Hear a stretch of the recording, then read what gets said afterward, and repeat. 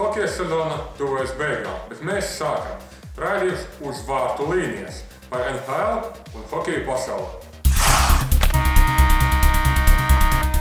Vērtējiet, parakstieties, izsakiet kritiku, komentējiet uz vārtu līnijas. Visu labu!